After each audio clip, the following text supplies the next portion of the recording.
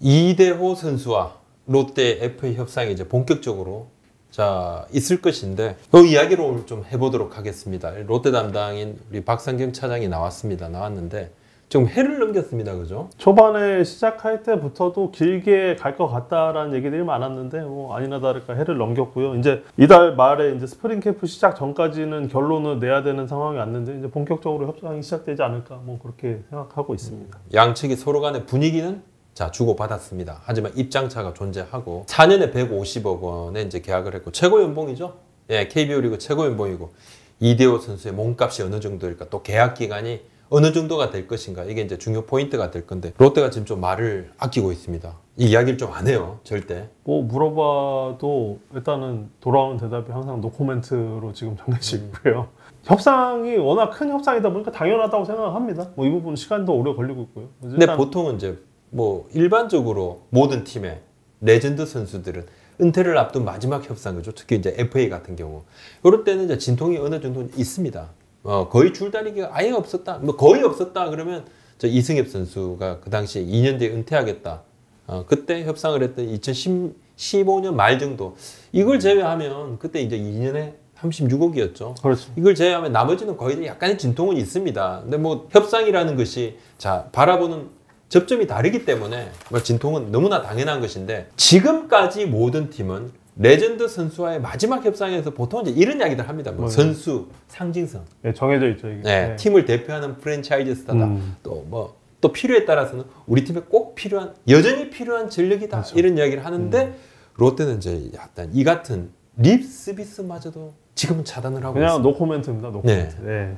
자 이번 협상에 임하는 자가 롯데 구단의 분위기를 조금 엿볼 수가 있고 그죠? 음. 어 단도직입적으로 좀 이야기를 해보면 몸값을 좀 대폭 삭감을 하려고 하는 것인가 그런 생각이 좀 드, 드는데요. 작년에 성민규 음. 단장이 이제 스토브 리그를 임할 때 분위기가 좀 비슷하다고 보시면 될 것 같습니다. 그때 이제 성 단장이 자주 했던 얘기가 굳이 우리가 먼저 패를 보여줄 필요가 없다라는 얘기를 많이 했거든요. 서로 패를 감추고 신중하게 접근하는 거는 지극히 정상적인 방법이다라고 생각을 합니다. 예, FA인데 조금 특별한 상황입니다. 그죠? 연봉이 25억 원.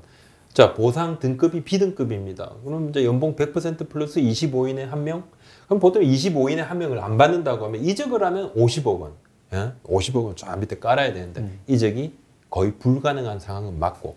그래서 이제 FA지만은 뭐 거의 잔류, 그죠? 잔류 협상이나 마찬가지인데 간단하게 협상 과정을 말씀을 드리면 지난달 이제 12월에도 양측이 이제 만나긴 만났습니다. 그렇죠. 비공식적으로. 네, 네. 49장 뭐 모처에서 구단하고 선수 에이전트하고 만나긴 만났는데 구체적인 몸값을 뭐 주고받고 이런 차원이 아닙니다. 그러니까 서로 간에 약간 좀 상겼네. 예, 음. 그런 것 그리고 뭐 선수의 뭐 현 상황 뭐 이런 것 좀 이야기를 좀 뭐 물어봤고 그래서 이제 1월 이제부터는 서로 간에 구체적인 조건들 자 생각들을 털어놓고 조율하는 시간들을 가지게 될 겁니다. 뭐 이것은 뭐 여러 루트로 체크했는데 맞습니다. 맞고 하지만 여러 번 만나야 될 것처럼 좀 보여요. 아, 그런 분위기가 좀 강합니다. 그렇죠. 뭐 이제 음. 처음에 만났을 때는 뭐 이제 의례적인 뭐 어떻게 운동 잘 하고 있고 뭐 이제 앞으로 뭐 좋은 쪽으로 뭐 잘 해봅시다. 뭐 이제 이런 차원에서였고 금액이나 시기가 나오는 것도 사실은 본격적으로 뭐 협상이 시작된다고 해도 그게 거의 끝 지점 그러니까 거의 협상이 임박한 지점에서야 아마 그런 좀 윤곽이 드러나지 않을까 이런 생각이 많이 드는 협상인 것 같습니다. 자 이대호 선수가 사실 뭐 조선의 4번 타자, 음. 롯데의 상징, 심장 뭐 이렇게 많은 또 수식어가 붙습니다. 뭐 대단한 활약을 펼쳐왔고 한미일에서 다 활약을 한 대단한 선수입니다. 그러니까 그렇게 정말 대단하기 때문에 4년에 150억을 받, 받지 않습니까? 근데 그렇다면 과연 이제 최근에 논란이 되고 있는 이대호 선수는 과연 에이징 커브인 것인가? 지난 4년의 성적을 한번 보면 조금 약간씩은 좀 다운되는 그런 느낌이 좀 있어요. 그죠? 이 냉정하게 표현을 하면은 에이징 커브가 맞다고 보여지고요. 뭐 음. 지금 구체적으로 지표를 좀 설명을 드리면은 그 2017년 그러니까 이대호 선수가 롯데와 4년 150억 계약을 하고 나서 지난 시즌까지 4시즌 기록을 딱 이렇게 보시면은 정점을 찍었을 때가 2018 시즌이었거든요. 그때는 네. 뭐 타율이 4만 3분 3리에 181안타 37홈런, 뭐 OPS가 9할 8푼 7리, 그다음에 WRC plus가 142까지 나왔고요. 뭐 굉장히 좋은 stat을 했는데 지금 이 지표들이 2019년, 2020 시즌 계속 떨어졌었거든요. 그러니까 점진적으로 계속 떨어진 aging curve 상황은 맞다고 보여집니다. 확실히 이제 지난 2년간 이제 OPS 하락된 이 부분들이 조금 눈에 들어오죠. 뭐 여러 가지 수치는 WAR 이런 부분은 스포츠투아이 기준이 아니고 그냥 스태티즈 기준으로 조금 통일을 조금 해봤습니다. 그리고 지난해 144경기 전경기 출전을 했어요. 아, 이 부분은 그냥 제가 느끼기에도 두 번째 FA를 앞둔 이대호 선수의 약간 의지다. 아, 이렇게 좀 봐지고 또 팀을 이끌고 나가고자 하는 본인의 뭐 책임감의 표현 이렇게 또 봐야 될 것 같고 또 한편으로는 이제 베테랑들의 마음으로 움직여서 팀 분위기를 조금 이렇게 다 잡아서 예, 시즌을 치러 나가는 이제 허문회 감독의 지도 스타일하고도 조금 예, 맥이 좀 닿아 있다고도 봐야 될 것 같은데. 허문회 감독이 작년 스프링 캠프 시작할 때부터 이제 강조했던 것들이 이제 베테랑들의 역할을 많이 얘기했었는데요. 그 2019년에 롯데가 이제 최하위로 추락을 하면서 이제 전체적으로 팀 분위기가 좋지 않았을 때 이 구심점 역할을 베테랑들한테 맡겼다. 그 중에서도 팀 내에서 가장 이제 최고참인 야수 최고참인 이대호 선수에게 이렇게 좀 책임감 부여를 하면서 항상 이제 인터뷰할 때마다 그런 얘기들을 했거든요. 이대호만한 선수가 없다. 뭐 우리 KBO 리그 최고의 선수다. 뭐 이제 이런 식으로 어떻게 보면 좀 이대호 선수 위주로 더가웃 분위기를 형성하는 그런 모습들이 있었거든요.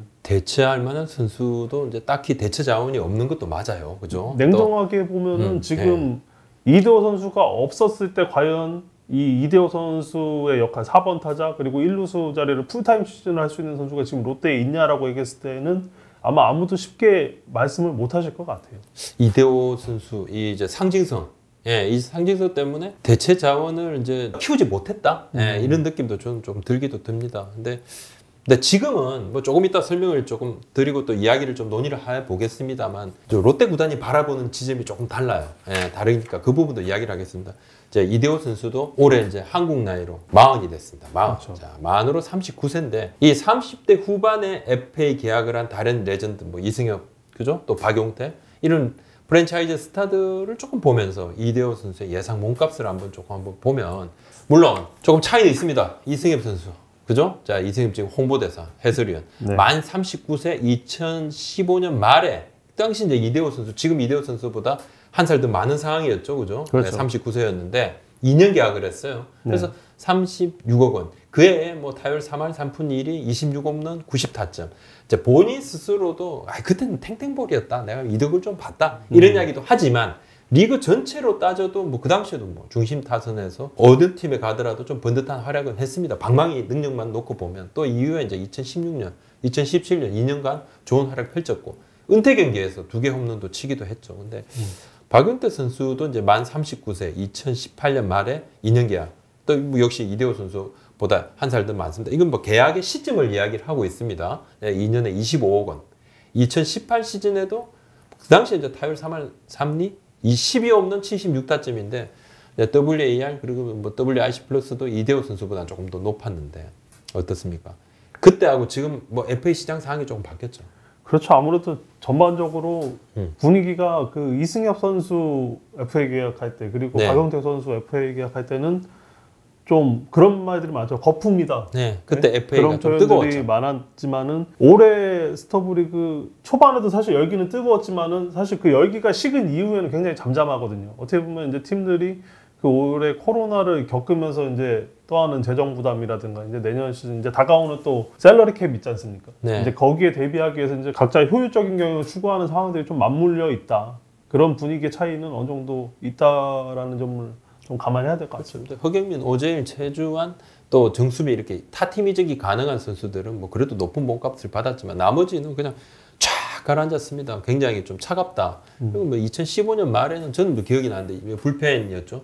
정우람 선수 하나하고 4년에 84억 원. 뭐 그랬습니다. 그때는 지금보다 상황이 좀 나았는데 지금은 좀 전반적으로 이런 부분이 지금 뭐 잔류 협상을 하고 있는 나머지 선수들, 나머지 FA들한테는 좀 마이너스다 봐야 될 것 같아요. 그럼 지금 왜 이렇게 좀 진통이 있나? 예, 진통의 가장 큰 이유는 팀에서 투수들이 가장 돈을 많이 받는 포지션은 뭐 일단 뭐 1선발이지 않습니까? 그렇죠. 보통. 그러면 네. 타자는 어, 뭐 3번이 됐든 4번이 됐든 음. 이 3, 4번이 가장 돈을 많이 받습니다. 3번이든 4번이든 쓰겠다 생각을 하기 때문에 뭐냐 뭐 지금도 팀의 중심이다. 근데 지금까지는 이대호 선수가 뭐 롯데의 4번 타자 앞서 말씀드린 조선의 4번 타자 이미지가 있습니다만 앞으로도 그렇습니까? 음. 2021년도 4번 4번으로 활약을 하게 될까? 뭐 여튼 뭐 결국은 이건 만약에 이제 재계약을 하게 된다면 홍은혜 감독이 그죠? 결정하는 거겠지만 저는 좀 냉정하게 봤을 때 지금 이 협상이 어렵다라는 얘기들이 자꾸 나오는 게 이 4번 타자라는 이미지에 가- 이 프레임에 좀 갇혀 있지 않나라는 생각을 많이 해보는데 사실